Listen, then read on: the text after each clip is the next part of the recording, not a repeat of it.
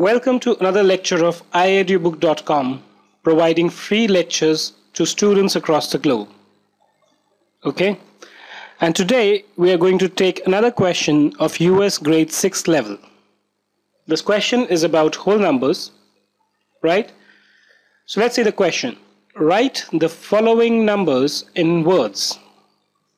Very good. So you're given certain numbers, okay? And you have to express them in words. Right? So how do we do that? Let's see.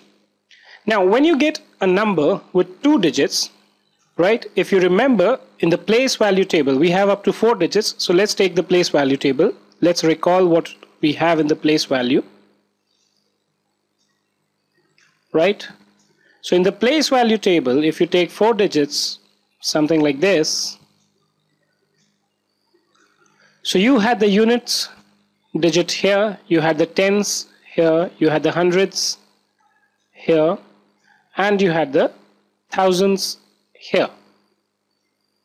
Right?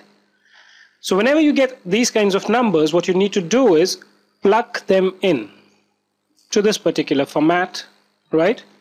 Starting from the right to the left. So you pick the rightmost number, which is 8, put it on the extreme right side put the other number again here right? So what do you have units place? You have 8 so you have 8 ones right? So you have 8 ones means what? You have 8 into 1 is equal to what? 8 right and you have 9 tens which means what? 9 times tens is equal to 90 right? So you have a number which is 90 plus 8 okay? And you just write it down as 98 right? Similarly we put in 907 we get something like this. What's the value of this number? The value of this number is at units place you have 7 right?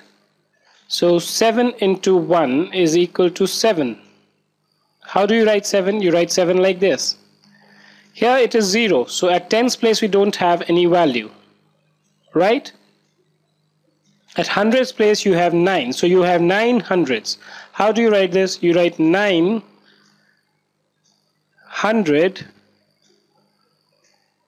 okay do you have anything at tens place? No. What do you have at units place? 7 and 7 simple. You just read the relevant value apply it to the value in the place table move on to the next one. When you write it down please note when we are trying to plug this into the place value table we take it to the right side. So we start from the rightmost number put it in the right side. But when you are writing it in terms of words you have to move from left right?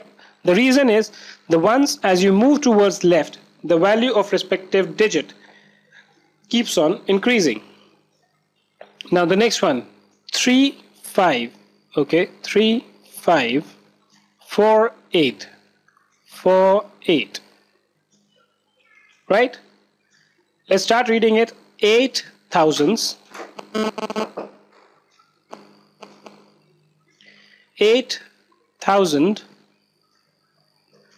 4. What is 4? 4 is 100. 4 hundred. 5 tens. So how do you write 5 tens? We know that 1 ten is 10.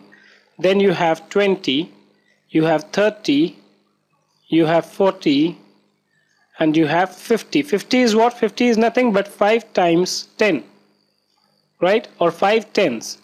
We have 5 tens over here so we'll just write this as 50 then you have 3 units. 3 units means what? 1 2 3 3 right? So 8453 right? Normally what we do is we put in an AND after 100, right? So let's say for example, we had 900 over here. So we had said 907 right? Here you have 453 right? So the procedure is simple. Just pick up the value add it to the column in which it lies. 8 thousands 4 hundreds.